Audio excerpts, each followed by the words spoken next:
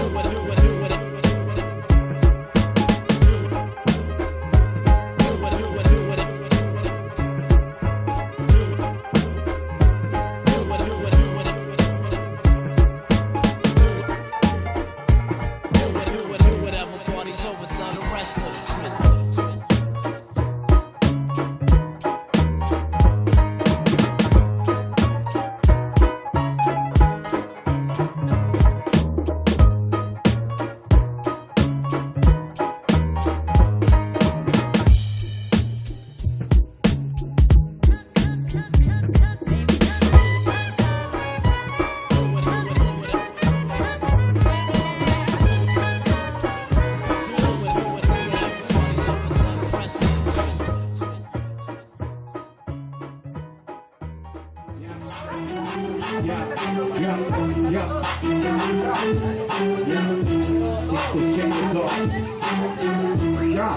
yeah,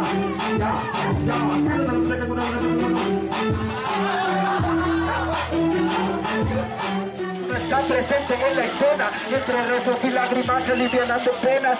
Unos lloran de alegría, otros sufren de tristeza. Son amigos y familia, los otros se las debía. Por los vecindarios del barrio ya corre el chisme De su muerte, de sus vidas, de sus chicas y sus chismes ya por las esquinas se comenta, se comenta Algunos lo celebran, otros cuantos lo lamentan Ya, se atormentan al ver tendido a quien los ha protegido y que los alimenta. Una historia que termina, muchas otras que terminan. Eso sucede aquí en cada puta esquina. Así que cuidado donde miras y donde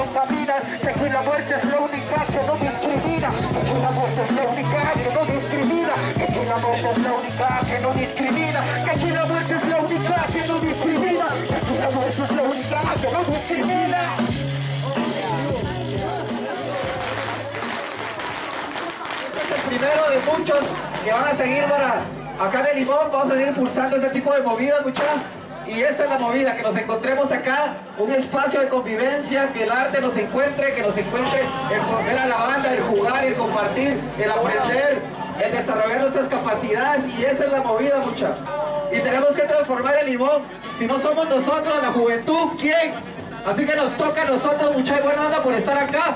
Y bueno, nos reunimos acá por la quema del diablo. Dejamos las malas energías del limón, que se vayan, que quede solo buena vibra del limón, que toda la banda se ve bien.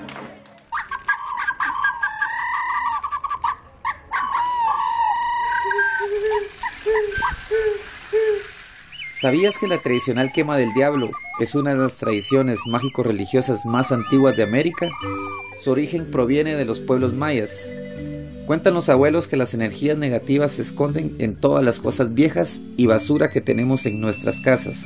Es por eso que para poder limpiar y purificar la casa, los abuelos cada año sacaban todas las cosas viejas que se acumulaban y a través del poder del fuego sagrado las quemaban para limpiar y purificar la casa.